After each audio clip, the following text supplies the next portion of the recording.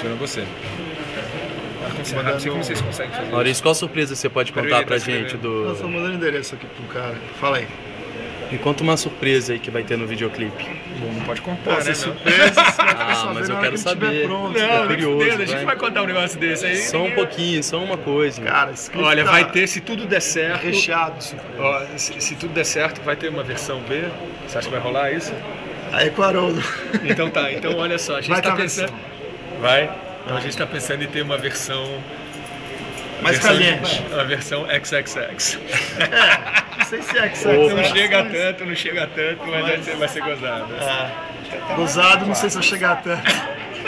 Vai ser gozado fazer, né? É, gozado. Vai ser gozado filmar, isso assim. Mas tá, tá Mas, bem. mas é que tá, não dá pra contar as coisas. O vídeo, pô, de repente vai estar aí no ar daqui a 20 dias, tal, né? Vai. E aí ninguém vai ver, a gente vai é Mas- vai entrar esse site? Mas eu vou roubar um pouco de imagem pro site, né? Little. Você já, você já chegou tarde, você já pegou, perdeu um monte de coisa que rolou já. muito pouco.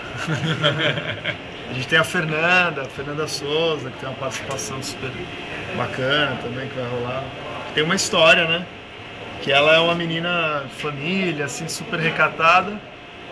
E ela faz tudo que ela tá afim na hora que ela vem dançar. Aquela coisa de, tipo, sei lá, em duas horas que ela vai pra uma boate dançar, se exibir, se sentir mulher, provocante, ali ela se solta, ela deixa de ser a coisa careta. Só que depois ela volta pra casa e volta tudo normal. Então ela tem que aproveitar esse momento de.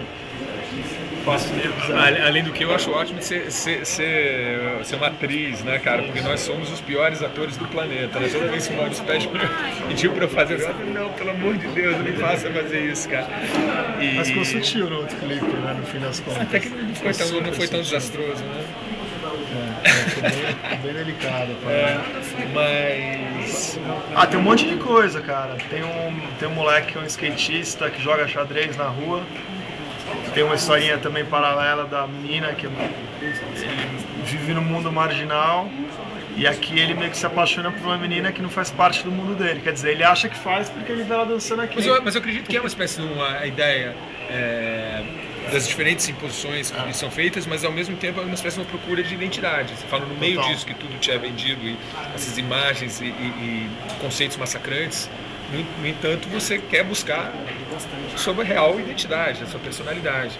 Eu acredito que isso é bem, vai ser bem retratado, não é? Na- No papel dos dois, eu acredito. É, tanto a sua personalidade quanto. É, exatamente. Buscar uma coisa que, que às vezes a gente esconde por conta da sociedade, do, do consumismo mesmo. né? Às vezes pudor, às vezes Pudor.